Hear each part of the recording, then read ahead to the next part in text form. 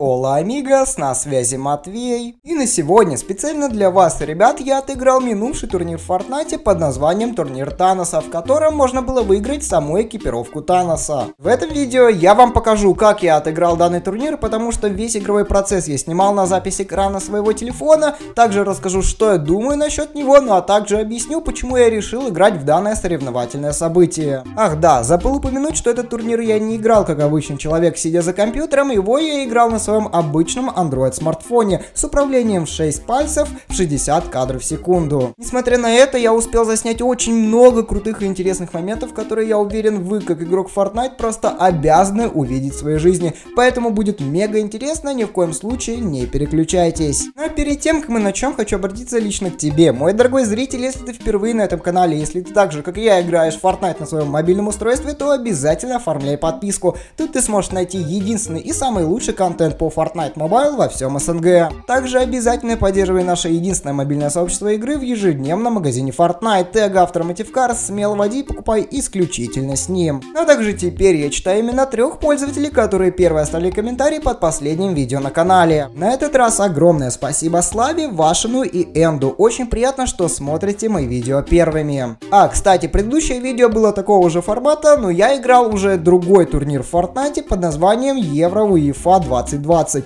Ребят, то есть, кому будет интересно, обязательно посмотрите его, потому что оно получилось мега крутым по подсказочке в правом верхнем углу. Не знаю, где здесь право, в общем, вы разберетесь. Надеюсь, вы меня поняли, и теперь давайте наконец-таки посмотрим на то, как я отыграл минувший турнир Таноса в Fortnite на своем обычном Android смартфоне с управлением в 6 пальцев в 60 FPS. Уверен, такого вы еще нигде не видели.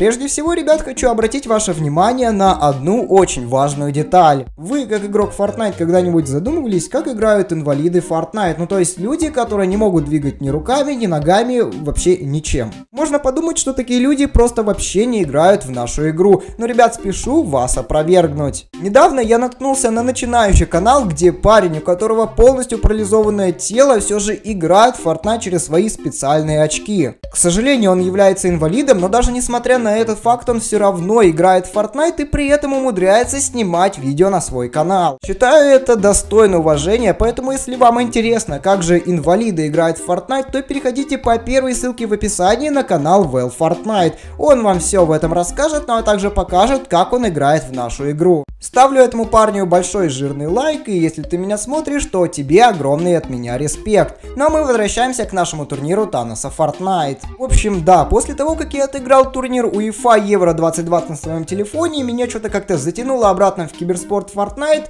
и если честно, я вот целенаправленно хотел отыграть турнир Таноса и может даже выиграть его экипировку. Все бы ничего, но за несколько часов до начала турнира я узнал, что оказывается это до соревнования. А если вы не знали, то я вообще не умею играть в команде, я всегда гоняю в соло и даже не задумываюсь о том, чтобы найти себе напарника для постоянной игры. Поэтому я пошел в свой дискорд сервер и начал искать подписчика, который будет готов со мной сыграть. При этом, чтобы он был достаточно скилловым игроком и с ним можно было бы на что-то надеяться. Ну и я нашел одного своего хорошего парня, который тоже играет Fortnite на своем телефоне в 60 FPS, но с управлением в 4 пальца. Поиграл с ним один на один, понял, что он достаточно скилловый чел, поэтому взял его к себе в дуо. Ну и после того, как мы вместе в лобби нажали на кнопку играть, началась самая жара.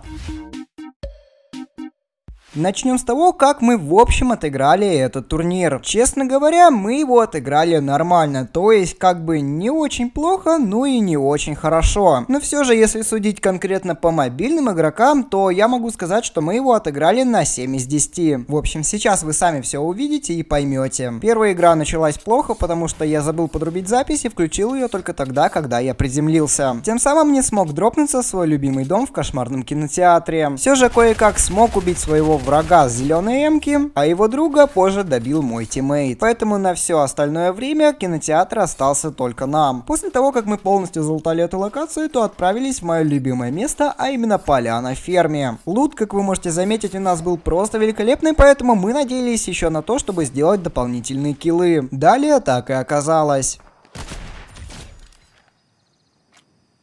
Пошли пушить этих ребят, они пытались от нас убежать, но по итогу мы все же смогли их убить.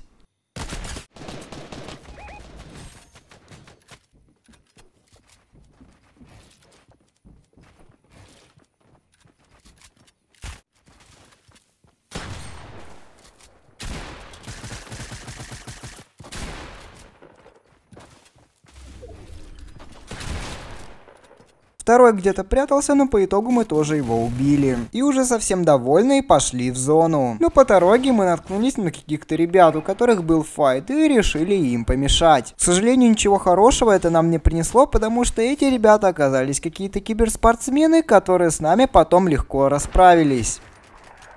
Что жаль, ну а мы двигаемся дальше. Вторая игра была похуже, но даже несмотря на это, на киллах мы все-таки смогли поднять немного ПТС. Но погибли мы все равно как-то по-дурацки. Думаю, во всем виновата плохая командная работа. Ну и еще плохой loot. Но третья игра была еще хуже. Во-первых, я не смог приземлиться на свой дом, но зато туда смог приземлиться мой teammate и еще каких-то два левых чела, которые, естественно, вдвоем убили моего тиммейта и хотели убить меня, но все же я смог от них спастись и немного пожить в игре. Но, к сожалению, чуть позже эту катку покинул и я.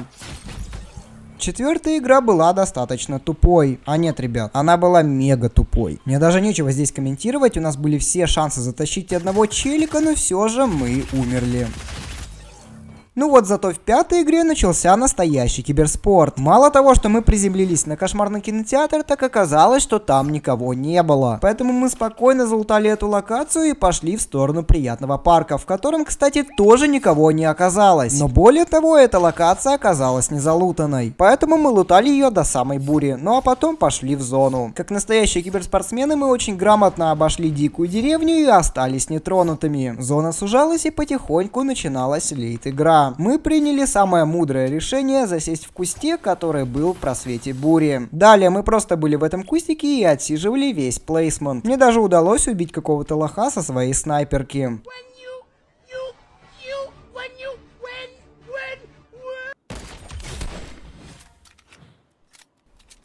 Счастье длилось недолго, ведь в скором времени к нам нагрянулись гости. Я бы даже сказал, много гостей. Все игроки пришли в нашу точку. Жаль, что мой напарник не смог такое пережить, но вот я смог оттуда сбежать. Спокойно отхилился и смело держал хайграунд. Ну а еще подцепил какого-то парня на свою снайпу. Далее зона была не на моей стороне, поэтому мне пришлось ртетиться в просвет бури. Дела обстояли замечательно, оставалось 7 человек и все шло к победе. Я даже успел подцепить какого-то чела на свой зеленый тактик. Но, к сожалению, из-за своей неопытности все-таки попался на одном недочете. Когда я убил того парня, то я забыл подобрать с него ресурсы, а насколько вы можете заметить, то использую я их в достаточно большом объеме. Ну а далее, меня просто скинули с хайграунда, у меня было нечем застроиться и тем самым я погиб погиб. Если бы не этот недочет с ресурсами, то скорее всего я бы смог выиграть эту игру. Но как говорится, кто не делает ошибок, тот не импровится, поэтому я пошел играть дальше. Следующая игра была тоже достаточно неплохой. Мы приземлились на кошмарный кинотеатр, но там были другие ребята, которые убили моего тиммейта. После этого они решили убить меня, но я им ни в какую не давался и даже смог надавать нормально по щам. После этого они на меня забили, я забрал карточку своего друга и пошел его восстанавливать. А возрождать Возрождать я его пошел прям в самую жопу карты, как раз таки, где никого не было, и у меня получилось его возродить. Далее мы просто бегали по карте и пытались играть на плейсмент. До тех пор, пока к нам не приехали какие-то киберспортсмены, которые смогли нас двоих убить. Следующая игра тоже была на плейсмент. Мы отправились в самую отдаленную точку от маршрута боевого автобуса, и это оказалась как раз таки новая локация, в которой кроме нас никого не было, поэтому мы очень хорошо залутались и решили пойти половить рыб. Рыбачили мы, кстати, до самой лейт игры и сумели набрать более 100 ПТС. Нам очень сильно везло зона, ведь просвет цвет бури всегда высвечивался именно на нашей территории, мы практически за него никогда не выходили. Но все же в конце начался жесткий файт, в котором я смог нокнуть одного челика, но по итогу, к сожалению, умер. Думаю, если бы я не так косо стрелял, то я бы смог выиграть этот файт. Следующая игра оказалась самой странной игрой за весь турнир, сейчас вы сами все поймете. Мы решили прыгнуть в жопу карты и просто отсидеть плейсмент, как и в прошлой игре. Но каким-то макаром в той самой жопе карты оказалось пол сервера. Естественно, мы расслабленные и совсем не готовые к файту сразу же слились. Остальные две катки мы просто старались фармить PTS на плейсменте, поэтому и особо интересного там ничего нет. Сейчас постараюсь объяснить вкратце. Ну, во-первых, мы сломали дом. Ну а во-вторых, дожили до late игры и не сделали ни одного килла. Во второй игре было то же самое, только до лейта мы не дожили.